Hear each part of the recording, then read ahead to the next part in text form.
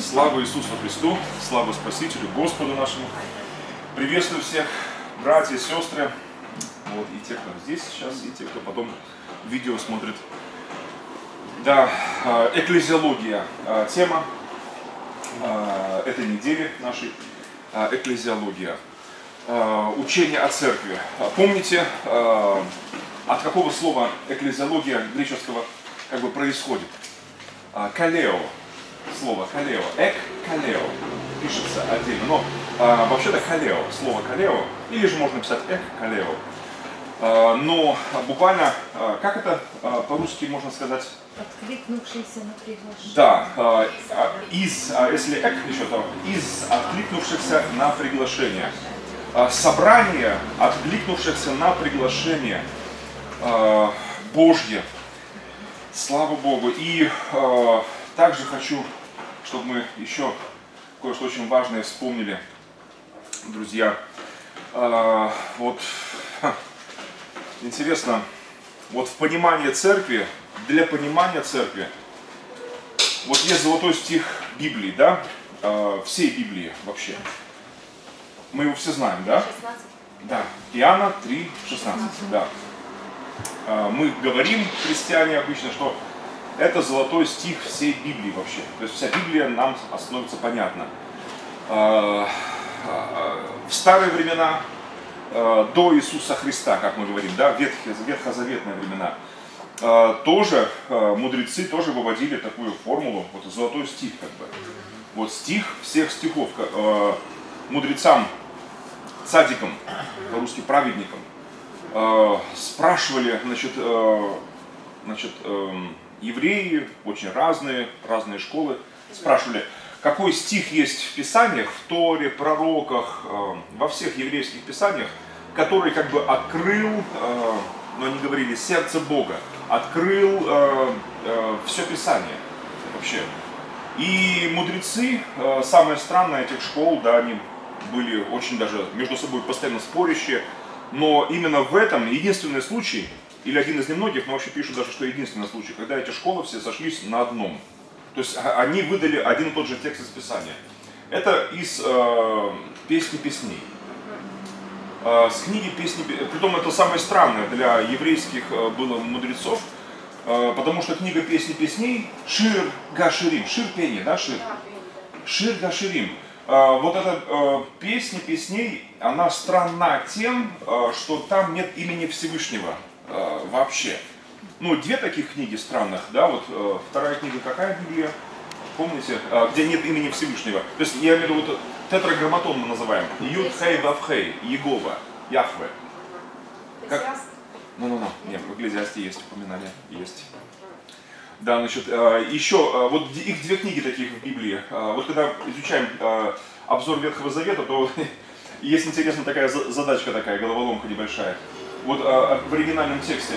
Вторая, не буду вас томить долго, э, это Магеллат Эстер, книга Исфири. Книга Исфири.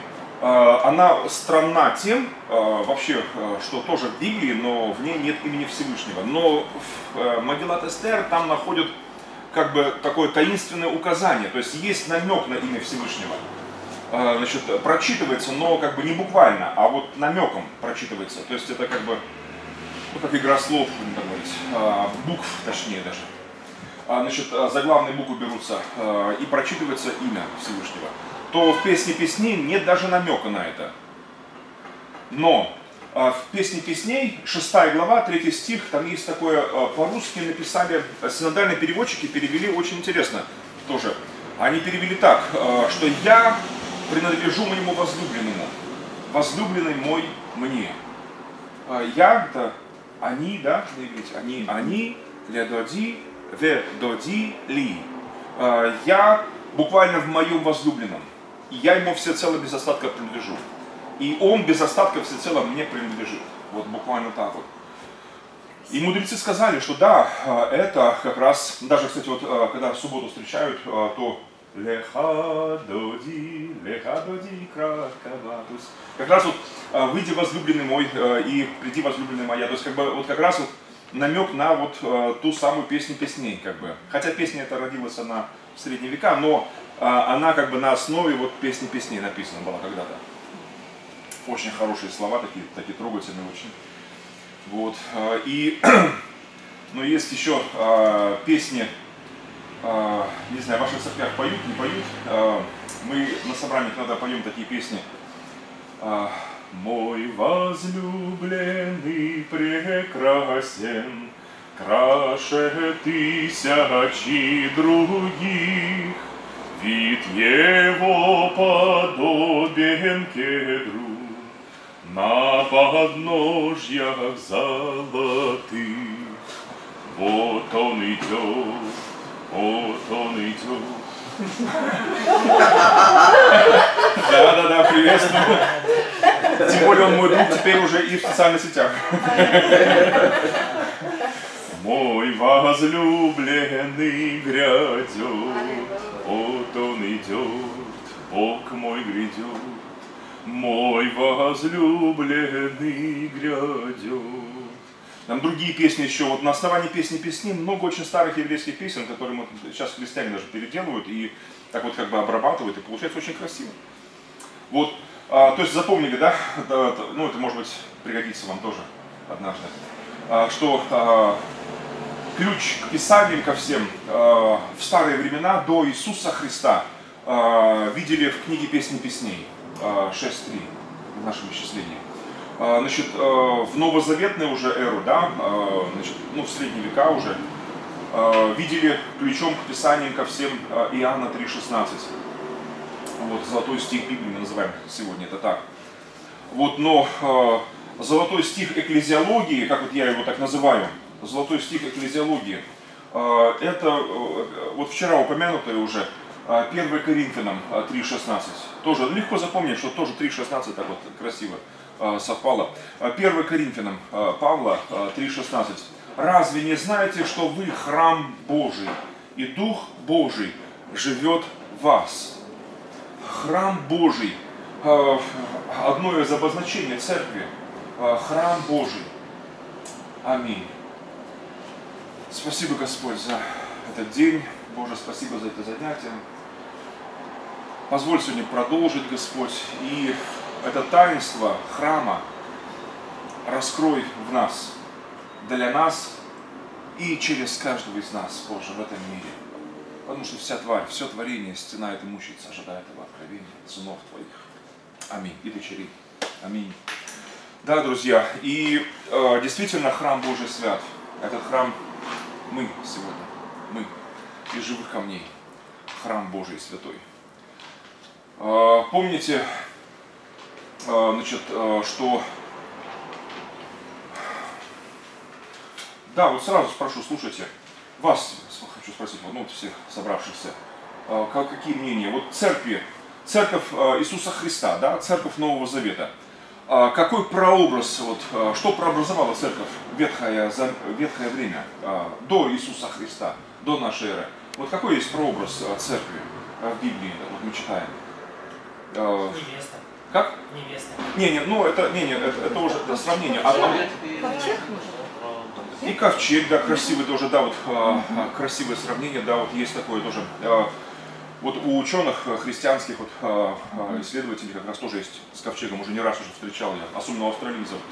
Мне так понравилось вообще, был один раз был в Австралии, там Брит Чорч, и как раз вот выступал из этого, из Сиднея, правда, он был спикер, он как раз вот об этом тоже говорит, что ковчег, да, и вот у них вот очень на этом строится много, у американцев тоже в этом ковчеге. Вообще, э, Израиль.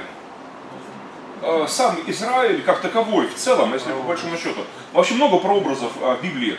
Если честно, то там десятки э, можно выписать таких прообразов.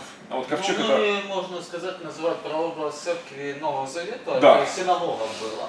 синагога, Да. да. Ну, ну это, это немного так спорно, да. Но дело в том, что синагога это немного не то, э, понимаете, э, синагога, особенно в те времена, допустим, вот во времена, ну, Машиаха, да, во времена Иисуса Христа в земной жизни, да, э, да и сейчас, в принципе, синагога это, это не храм, это, это, это по сути как вот, э, э, не- ну, собраться, где мы можем. Ну, Помолиться, да, помолиться, какие-то дела обсудить. Это касса взаимопомощи, это, эм, ну, это, это культурная жизнь, какие-то мероприятия, школа. Э, Ну, это, это все как бы, ну, где, где евреи могут вот, как бы, собираться, как бы, вот, и чем-то заниматься общим. Вот. А в те времена, конечно, да, во времена Иисуса, ну это еще, да, обучающая была вещь, потому что, потому что, ну школа, да, школа. Потому что э, большинство евреев в те времена уже были вне земли Израиля. Так получалось, ну исторически так получилось. Вот. Да? В рассеянии, да. появилось, за- Очень много. Да, да, да. И вот, вот те, кто в рассеянии, им поэтому было сложно. Далеко не все могли э, в Иерусалим э, на вот э, регалим, эти, вот, эти праздники вот, паломнические могли быть. Далеко не все. Понимаете? Поэтому большинство проходили обучение вот, там у себя.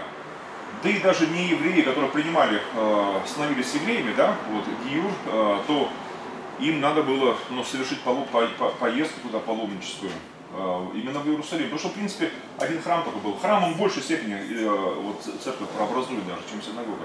Но как бы, но в целом запомним, что Израиль, он как таковой в целом, Израиль, народ еврейский, он прообразовал собою церковь. Пророчески такой прообразовал собой церковь. Вот, и э, история Израиля э, для нас, как Павел пишет в Коринфянам, помните, да, что то, что написано было, он перечисляет э, э- этапы такие важнейшие в жизни Израиля, ошибки, грехи, падения. Он пишет, это написано в наставлении нам, достигшим последних веков. А, то есть э, не чтобы мы э, э, судили, э, читая э, Библию, э, знаете ли, вот народ э, еврейский, Э, Да вообще, э, как бы, пусть Господь избавит нас от такого злого духа, критицизма. А, Читая Библию, знаете, как вот размышлять, что если бы я бы жил в те дни, я бы поступал бы так или сяк, там, или... э, Никто не знает, как поступали бы. Э, Мы, каждый из нас поступил бы, окажись в той ситуации. Вот знаете ли, это как бы, особенно в наш век, когда вот э, выросли на, на фильмах, на кино, на зрелищах таких вот э, люди, то обычно ассоциация такая сразу, о, я вот с теми был бы там, я за тех там, я там так поступил бы. Но это опять-таки это самообман. На самом деле человек не знает, он, э, как бы он поступил э, и как бы он повел себя вот, э, в такой-то ситуации.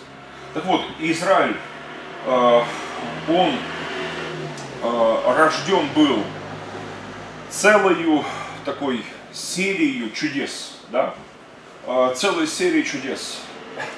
Авраам Авину, отец наш, да, он, Авраам, он был бездетным. Э, Да, значит, Сара не могла рожать ему. Вот, значит, э, он не имел детей да, до самой старости, почти сто лет. Вот, значит, и, знаете ли, по-человечески все, надежды никакой не было. То, что Авраам родил Исаака, это чудо Бога. Действительно чудо Бога. Вот, и Исаак родил Якова, Яков патриархов, затем значит, э, рабство, период э, вспоминаемый, да, э, когда жили в Египте. Вот, поначалу все было хорошо, э, знаете ли, как вот э, в мышеловке э, сыр выглядел аппетитно, пришли туда, вот, и потом мышеловка захлопнулась. И уже э, Египет, знаете ли, мягко стелили, но жестко было спать. Затем э, наступили времена, уже были вот, э, рабства именно. И тяжелого рабства. Так вот, затем наступило время свободы, освобождения, Моисей, вспоминаем события. Да, в этом году мы, кстати, очень красивая э, эта дата в этом году. Э, В этом году исполнилось 3330 лет, ну, еще с половиной уже получается. А, Значит, да, со времени Великого Исхода. Еще три года пройдет, будет у нас 3333 летий будет. Интересно. Значит, да, э, этот год такой, да. Э, 3330 лет назад, э, да. И долго, и много времени прошло с одной стороны, с другой стороны, как бы, и, и не так уж и много. Вот, э, как отсчитывать, смотря, как смотреть. Вот э, Бог э, рукою крепкую, мышцею простертую, э, из Египта возвал сына своего, первенца своего. Как в той песне поется послание, да? Let my people go. Да. Отпусти мой народ. Отпусти мой народ. Мы на, на Пасху обычно тоже эту песню поем. Ну, конечно, На английском? Ну да, на английском. Ну, еще там сделали такой перевод. А, Один из переводов тоже я посмотрел, скачал, значит, ну, как бы немного его подредактировали. Вот, ну, как бы чуть добавили для рифмы, а, как бы, а, того, чего нет там в тексте, но как бы, чтобы хотя бы звучало на русском как-то. Вот, а, в следующую Пасху, 19 год уже, а, обещают, значит, брать еще украинскую мову сделать. что-то. Говорят, еще лучше получится, ну, посмотрим. Вот, и, э, да, много хороших пасхальных песен, да, но вот само событие исхода, само событие исхода. И э, э, Израиль э, вышел. Пасха – это праздник, конечно, не только национальный, даже не сколько национальный, а сколько праздник интернациональный, потому что э, далеко не все евреи вышли, во-первых, да, Э, знаете, наверное, этот факт, исторический уже факт, потому что археология, э, ис- историки полностью подтвердили это старое еврейское предание, вот, которое с незапамятных времен идет, э, передается. Ну, в наши времена уже оно и записано преданием, э, что э, по некоторым мнениям э, еврейских э, этих праведников древних, э, что э, одна треть всех евреев отпала в то время неверием. То есть так не поверила Моисею. По другим мнениям, две трети отпало неверием даже, только лишь одна треть вышла евреев, потомков Якова. Мы не знаем сколько, есть разные мнения, но археологи уже в 19 и 20 столетиях однозначно доказали, что э, значит, множество евреев проживало и после времени Великого Исхода. И тем самым они подтвердили истинность этого предания. Вот. А почему Моисею не поверили, даже после всех казней, трудно сказать. Одна из подсказок, она на поверхности, в принципе, лежит.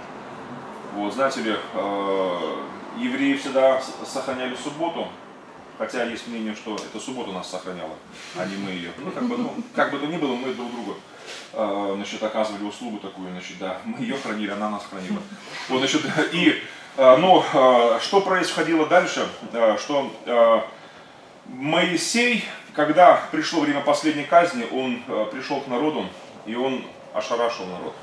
Просто ошарашил. Он сказал, что э, значит, пусть каждый человек, э, каждая семья возьмет однолетнего агнца, можно козлет, козленка, значит, э, и э, 10 Ниссана привяжет его у себя в доме.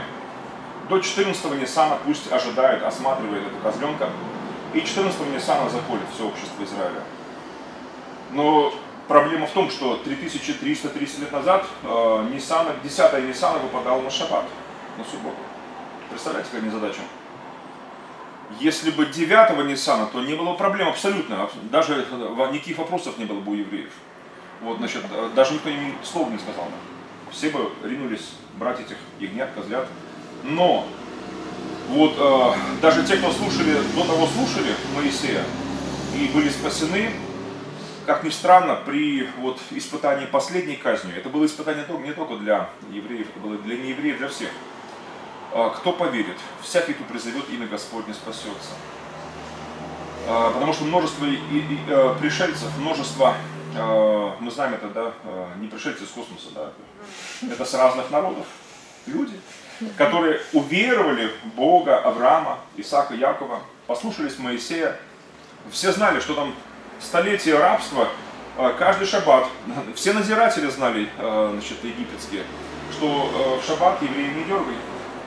Он раб, раб, но э, раз в неделю он ест как свободный человек. Потому что, да, это еще и праздник свободы. Э, Наверное, потому еще евреи с ума-то не сошли и не растворились там, значит, потому что каждую неделю, раз в неделю все ели как свободные граждане. Вот, да, шесть дней были рабами, но седьмой день никто не толкал евреев, никто не брал евреев. Вот, э, отстояли минимум свободы. Вот, это было очень классно, конечно. Вот, и представьте, и вдруг искушение. В шаббат 10 Ниссана надо было брать этих э, ягнят, козлят, значит, вводить в дома свои, привязывать, делать элементарную работу, хотя это не нарушало, ну, Божью заповедь, собственно. Ну, ну, если, если честно, то заповеди как таковой, ну, де юре еще не было. Ну, де-факто она была всегда, конечно, со времен еще нашего пращура Адама и матери нашей Евы. Вот с тех времен, как бы, со времен первого еще шаббата, который провели там э, в раю, первая семья Там все человечество было всего-то ты да я, да мы с тобой. Ну, да, да. Но как бы а, а, до 20 главы книги Исход это было лишь де-факто заповедь. А де юр это стало только лишь уже в 20 главе Исхода, собственно. Но все равно, хотя де юра этого не было заповеди, но это было настолько плотью и кровью народа Израиля. Вот. Кстати, не только в Израиле. Есть э, свидетельства археологические, интересных раскопок, что в некоторых других народах, тоже вот Ближнего Востока, сохранялся шаббат. Но это были отголоски. Но такого общенационального празднования не было ни у кого, кроме вот э, именно еврейского народа.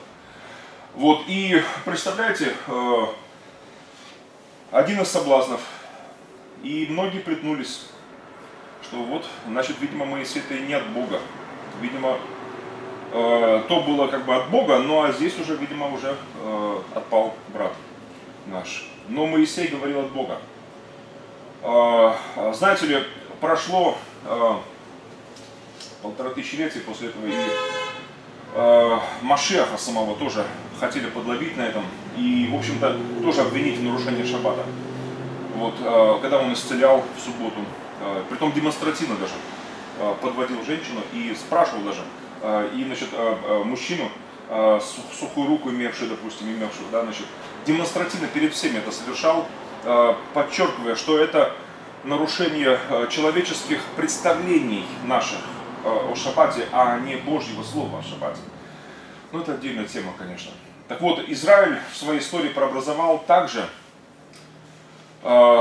потому что, когда исход совершился, ну, даже если это две трети было вышедших с Моисеем, э, потомков Якова, но треть за место отпадших неверием природных ветвей, будем так говорить, Бог привил верою дикие по природе э, ветви, привил к этому древу. И получается, что э, Пасха свершилась для всех верующих, для уверовавших.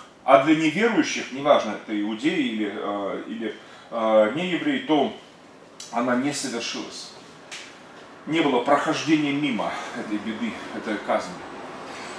Вот. И Моисей пророчествовал, что пророка, как меня воздвигнет Господь, его слушайте. Э, очень хочется тоже, чтобы вот э, я, э, почему еще вчера рекомендовал Джош Макдауэлла, пересмотрите, брат очень четко, мне очень понравилось, очень хорошо пишет как раз об Иешуа как Машехе, об Иисусе как Христе, истинном Христе. А, неоспоримое свидетельство. Очень хорошая книга такая. Мне она очень нравится всегда. С удовольствием перечитываю. Да. Так вот, друзья. И э, рождение церкви, рождение. Э, Иисус, собственно, с момента Рождества Христа, вот эта идея, э, это, будем так говорить, ну как вот есть такое выражение еврейский заговор, да, всемирный еврейский заговор. Вот если он есть, говорю, то он, он э, в Библии очень четко выражен. Это заговор по спасению всего рода человечества вообще. Во главе этого заговора сам Господь Бог всемогущий. А центральной фигурой этого заговора, говорю, тогда становится сам Иисус Христос. Ни много ни мало. Вот, и Иисус, э, Он вынашивал э, церковь у себя под сердцем. Он вынашивал и пророчествовал церкви. То, что в 16 главе говорится, вот вчера мы читали, да, что я создам церковь мою, 18 стих, 16-18 э, Матфея. «Э, я создам церковь мою, и врата ада, в переводе написано синдальным, не одолеют ее, да. Вот это пророчество еще церкви, которой еще не было фактически. Были отдельные ученики, учащиеся, да, значит, были сочувствующие, были уверовавшие, вот, э, но в целом еще сама церковь не родилась рождение церкви. Как оно произошло? Есть разные мнения на эту тему. Я э, скажу вот э, то, чего я держусь. Э, рождение церкви, как и рождение ребенка каждого из нас было в крови, в муках на Голговском кресте Иисуса Христа, самим Иисусом Христом. То есть Голгофа стала таким как бы вселенским родзалом, где пред всем э, человечеством, пред всем миром э, родил, ну, скажу так, э, родились мы, родились мы. Потому что каждый э, спасенный человек за эти два тысячелетия, каждый возрожденный свыше человек в эти две, две тысячи лет, а свое духовное возрождение э, связывает э, именно с Голговским крестом Иисуса Христа, с кровью Машеха, кровью Иисуса Христа, чистого непорочного агнца. То есть на Голговском кресте произошло чудо рождения церкви. А День Пятидесятницы, который многие тоже называют рождением церкви, тоже можно назвать рождением. Но это я сравниваю как вот с выпиской из роддома, допустим, как бы, или показу родственникам уже. То есть как бы церковь была явлена миру, явление церкви миру э, было. И при том церковь была обличена, как бы вот, э, э, облачилась силой свыше. Вот этот момент, собственно, тоже можно назвать рождением церкви. Но это тот момент, когда церковь, она уже действительно, Дух, Дух Святой не просто сошел, вот, вот, ну, значит, на кого Бог пошлет, вот, ну, в таком смысле, да, э, нехорошем, а в хорошем, на кого Бог пошлет. Бог послал на тех ожидающих. Хотя э, Иисус воскресший являлся многим людям, можно предположить, что тысячи людей, потому что одно время более чем 500 братьев явился, там наверняка и сестры были какие, там и, и дети, может, там, э, там дальше. То есть получается собранием даже большим, не только э, единицам, не только десяткам, но даже и сотнями, и тысячам. Э, но дождались э, обещанного от Отца, э, человек 120 э, собраний было. Вот, и это было в Иерусалиме. Иерусалим стал вот той колыбелью, да, стал действительно тем местом, вот, где церковь начиналась, э, рождалась, где она делала свои первые шаги, даже вот ну, книга Деяний апостольских мы читаем, видим первые шаги церкви. Когда исторически церковь родилась, э, в каком году? Ну, 30-й год можно обозначить. Так вот, наша эра. 30-й год нашей эры. Ну вот, потому что, вот, хотя обычно считается 33-й год, но это неправильно, конечно. Дело в том, что исторически Иисус родился чуть раньше, чем это принято считать. Э, значит, мы обычно говорим, так условно говорим, вот 2018 год, будет 19 но на самом деле ошибка была в средние века, еще ранее средневековье, когда э, высчеты делались эти. Вот, ошибка была на 3, ну, 3,5, условно говоря, года. Вот, поэтому Иисус родился три с половиной года до нашей эры, получается. Исторический, исторический Иисус, я имею в виду. И он родился как раз вот в это время, сейчас вот по сути, Christmas time, время предрождественское. Вот, а, его, а, хотя исторически, ну, хотя церковно, мы обычно о Рождестве Христа говорим, получается, да, вот в конце декабря, в начале января, но исторически, по-нашему, получается, Иисус исторически родился в сентябре. Это начало месяца Тишри. Тишрей. Это отсчет, отсчет от создания мира, отсчет от создания Адама, от, от создания человечества, да, от Адама, от нашего отца Адама. И очень красивое совпадение, что и первый Адам был э, как раз рожден э, в этот день, и второй Адам пришел в этот мир, Иисус Христос, как второй Адам, тоже в этот же самый праздник. Э, библейский он называется Йом Хатруа, значит, это праздник трубного зова, праздник трубления. Хотя есть мнение, что Иисус родился чуть позже, на Суккот, но это не так. То есть я как бы могу исторически это доказать. Даже, значит, э, очень интересное свидетельство, очень интересно. Но это как бы э, больше для, значит, наверное, апологетики науки такой будет факт интересный. Потому что когда э, ведешь беседы ну, с неверующими, это одна тема, да? Когда ведешь с верующими по-другому, то это другая, другая тематика у нас обычно. Интересно. Но э, красиво совпало, да, что исторически Иисус родился в сентябре, получается. Обсерватория НАСА, кстати, вот, э, исследователи НАСА, э, значит, там не только христиане участвовали э, в этом исследовании, но и неверующие, вот, с помощью этих вот как раз компьютерных этих программ-то рассчитали как раз э, и знамения э, на Востоке как раз три с половиной года назад, э, до нашей эры, как раз именно было вот как раз то, что называется из звезд совпало как раз то, что можно назвать э, вот именно чудом, знамением с неба, знамением свыше. а, для а, людей, живших в Израиле, и неподалеку от Израиля люди тоже видели это знамение. Вот, значит, а, ну, как бы ладно, сейчас я пойду в такую историю уже. Но Иисус, получается, его, хочу, чтобы вы запомнили некоторые вещи. Вот э, мы говорим о 30-м годе нашей эры. Почему вот именно рождение церкви с 30-го года? Есть интересные исторические свидетельства. Касательно вот именно э, экклезиологии, это очень важно, думаю, потому что вот понимание церкви, понимание э, вообще таинства церкви. Особенно если вы будете говорить э, с иудеями, э, ну, религиозно грамотными, тем более, если иудеями, э, то это очень важно будет э, для вас. Э, убедительно показать, что действительно Иешуа и есть тот самый Машех. Иисус это и есть тот самый Христос, о котором пророчествовали все, начиная с Моисея. Вот, э, это очень такая важная тема, Хотя она больше относится опять к апологетике даже, чем к физиологии. Вот, и, и э, самое потрясающее свидетельство есть в самом Талмуде. Талмуд, Иерусалимский, Вавилонский Талмуд, есть разные издания Талмуда. Э, Талмуд это одна из основных книг иудаизма. А, значит, э, книга э, не заинтересованная, ее трудно заподозрить э, в заинтересованности такой Э, в распространении христианства или подтверждении христианства. То есть эта книга, она писалась э, как раз людьми, которые не приняли Иешуа как Машиаха, а не приняли Иисуса как Христа своего, к сожалению. Вот. Э, Иисус пришел к своим, но свои не приняли. Но не все, правда. Те, которые приняли, Он дал власть быть им чадами Божьими, на самом деле. Вот, но те, которые не приняли, ожесточились, к сожалению, и до сих пор ожесточение очень э, такое серьезное довольно происходит э, до сего дня.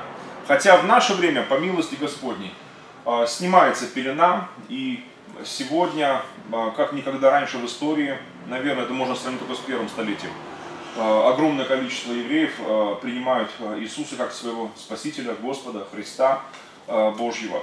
В США, допустим, там официально даже там больше 10% всех евреев, проживающих на территории США, вот, либо христиане разных конфессий, либо мессианские иудеи разных тоже течений, от таких харизматичных таких мессианских общин до таких консервативных синагогальных таких, ну тоже мессианских. То есть получается больше 10% да, евреев в США принявших, приняли Иисуса как своего личного спасителя. Очень, очень серьезно.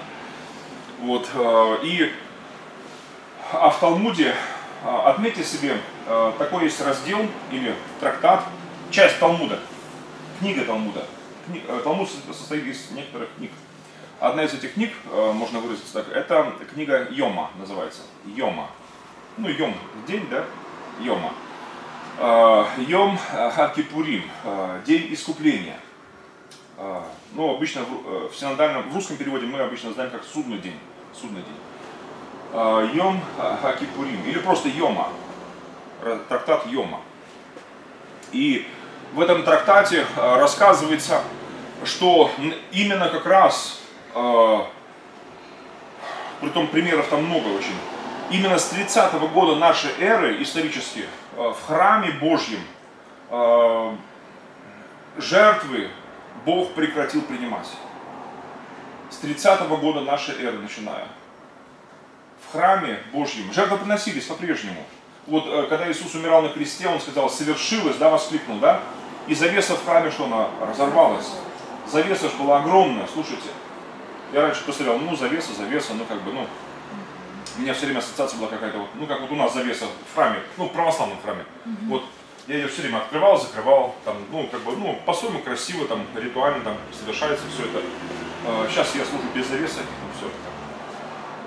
Я не хочу жить за завесой, за стеной глухой. Не знаю, я очень люблю этот э, мюзикл Лизяева, просто обожаю это просто вообще. Вот, значит, и там эти песни просто шедевры. Значит, но, э, особенно разорванная завеса, для меня это один из моих самых любимых мюзиклов вообще христианских. Вот, значит, и Сейчас а, никаких завес нет, престол станет прямо вот открыто. Хотя брать некоторые, может быть, все-таки ну, закрываться стоит иногда, потому что ну как бы так оно ну как таинственнее что ли. Все-таки должна быть какая-то загадка. Наверное. Должна быть в церкви какая-то загадка, да? Но э, интересно, что э, значит, э, завеса была не просто такая, э, а она же делалась Кожа, да, кожи, из прессованных кож шириной в ладонь. Ученые прочитали сейчас вот такую завесу. Какое нужно усилие, чтобы разорвать подобную завесу. Короче, в компьютеры данные эти поместили. Ха! Оказалось, что подобное силище доступно для человека стало только лишь уже ну, в наше время. То есть в те времена это была инопланетная технология. То есть разорвать такую завесу просто-напросто в те времена были, было невозможно. Это было сверхъестественно. А еще прочитали, это же какая, во-первых, силище должна быть разорвать подобную завесу, а там используется слово, вот как раз вот разрывание, это, да, которое в Библии же употребляется, когда, вот, к примеру, допустим, Яков разрывал одежду свою, да, вот, разорвал. Ну, понятно, Яков был, ну, ну, крепкий мужчина, да, значит, там, вот, э, в те времена за компьютером не сидели, там, работали все на своих двоих и прочее, были сильные люди. Он э, разорвал, и вот использует то же самое слово, это вот как раз разрывание. Хорошо, разорвалось-то, но какой треск, какой шум стоял. Оказалось, э, вот, ну, они в чем-то там просчитали, значит, э, значит, в чем высчитывается этот шум, и выяснили, что э, этот треск, этот шум от этого разрыва не только Иерусалим, не только Израиль весь. Далеко за пределами Израиля другие народы наверняка, не то что, а они сто процентов слышали, что у евреев что-то порвалось там. И притом очень серьезно. Что, как бы, а, ну, конечно, там слышали звон, да не знаю где он, но как бы, но все-таки, что у евреев что-то там треснуло, лопнуло, что-то там случилось такое, что значит, что, ну, как бы, ой-ой-ой. Не приведи Господь, да, потому что это было очень сильным. Э, Недаром люди там многие просто, ну, они, ну, пришли в себя, да, они шли домой, и они не говорили, «О, ох, как вот, раньше же не было телевизора, да, Э, одно зрелище было какое для людей, ну, как бы, вот, прийти на публичную казнь. И потом до следующей казни там перед суд обсуждали, кто как умирал, кто что там, значит, это, это же было, ну, а человеку нужно хлеба и зрелище, всегда. Вот. А в то время за место телевизора было вот, вот реальное как бы, убийство какое-то, допустим, да, наказание, убийство. Вот. И все обычно, все зеваки, народ весь собирался на это зрелище. Вот. И, конечно, а, обсуждали, ну, кто как там проклинал там своих убийц, кто там, что там говорил, там, значит, там, простите, люди добрые, там, как говорится, Христа ради. Ну, ну, что, я так не говорили, конечно, но... А, Одним словом, а, значит, э, но, конечно, Иисус ошарашил всех, безусловно, тем, что Он прощал, молился, благословлял, говорил, не ведал, что творят. Это, конечно, само по себе уже было э, трещала э, вся, ну, скажем так, человеческая вот эта вот психология, просто это невозможно. Э, ни за что, явно ни за что, там дураку было ясно, что его просто ни за что. А, Кстати, игра слов интересная, э, когда э, Вараву, да, просили, э, вот, или же его отдайте нам, или Вараву, вот, вот кого. А, Но некоторые мессианские учителя говорят, здесь еще э, сыграли на, вот, знаете, как эффект толпы.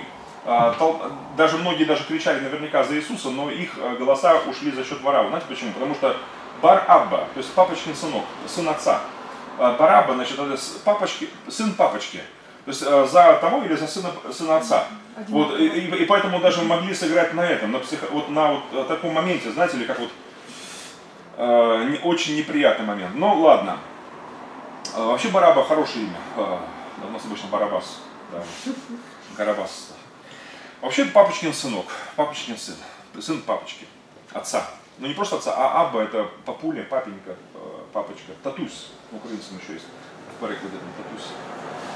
Э, Да, значит, вот и Дух Святой, который поселяется внутри человека, в Новом Завете уже, да, мы знаем, да, он называет Абба, Авину, папочка, папа, э, папуленька, отец, вот, э, вот это вот, Фу, это самое потрясающее, потому что никогда раньше, вот, это даже и в голову не пришло бы, э, значит, благочестивому никакому иудею, э, отцом называли, а Авину, да, многие молитвы и до Иисуса, э, значит, да и сам Иисус использует ту же самую формулировку, какая есть, э, была в молитвах тех времен. Особенно в школе Шамая, вот это Авину, Малкейном, Шеба, Шамаим, то есть Отец наш, который на небесах царствует, да, живет. Вот, значит, то есть эти слова евреи все знали, то есть как бы там не было ничего удивительного. Но назвать Всевышнего Бога папочкой, Абба, вот это никому в голову не могло прийти даже. Э, Это по отношению к к любимому своему единственному вот земному отцу, да. Э, Но к небесному всегда барьер был. Для любого еврея э, этот барьер был. Э, Вот, но здесь Абба, именно Абба, как это, папочка, папуленька. Фу. Но опять-таки не, не все христиане это понимают, конечно, не все это могут вместить. Но когда Дух Святой поселяется внутри человека, не просто э, вот возле человека, да, значит, а внутри. То же самое, как вот э, э, Эммануэль, да, вот Эммануэль. Э, когда Иисус родился, то исполнились пророчества, там целый ряд, список целый пророчеств. Десятки пророчеств, ну всяких, хороших, плохих там, обо всем исполнились пророчества. И вот самое первое, что Матфей пишет, да, он пишет, что исполнилось пророчество, э, что пророк говорит э, Эману Эль, ну, Имануил в русском произношении. Э, Значит, Эль это Бог, да, значит, Эману это растворенный в нас буквально, сущий в нас, частью нас ставший, съеденный, выпитый нами. Э, Потому что, хотя переводчики переводят опять-таки с нами Бог, да, с нами, но э, оригинально не так. Оригинально, хотя можно и так перевести. Я спрашивал людей, которые хорошо знают иврит, преподают, я, я лишь учу, я только термины учу богословские, а, значит, хотя надо и разговорно тоже осваивать, конечно. Я учу богословские термины и э, скачал себе Библию с номерами Стронга. Вот, если не скачали, скачайте обязательно. Это, это, это такая хорошая вещь вообще. Мне так нравится. Вот, э, и не только когда к проповеди готовишься, вообще просто текст читаешь и рассуждаешь. И потом, бывало такое ведь не раз, наверное, у каждого что-то такое было, да, читаешь текст, и у тебя, ты молишься, да, и у тебя понимание, что оно как-то, ну, не так, немного. А потом, когда начинаешь проверять по оригинальному тексту, действительно, вот оно чуть по-другому, а порой даже прямо противоположно тому, что написано в синодальном переводе, к сожалению. Как в 87 году я впервые услышал это в Ленинграде и в Загорске, в семинариях православных, такое выражение у семинаристов. Сильно дальний перевод. Не сильнодальний, а сильно дальний, они писали. Ну, они говорили, говорили так. Вот, потому что многие тексты, допустим, где Бог говорит конкретно действовать, а там говорится, наоборот, бездействовать, допустим. То есть, э, особенно в Ветхом Завете, там очень много напутано.